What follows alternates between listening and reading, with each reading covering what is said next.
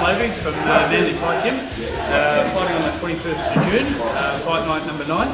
Come down and watch us, a bit of action. Uh, good gym, get involved, great night. Okay, my style of fighting is take the fight right up to him. Uh, a lot of pressure, a lot of body shots, a lot of head shots. Uh, keep on him all night and uh, hopefully he'll uh, tire him out and uh, I'll finish the night off early.